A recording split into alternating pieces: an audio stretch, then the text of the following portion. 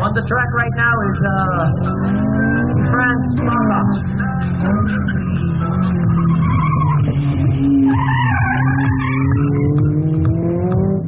On on the track right now is Franz Baron.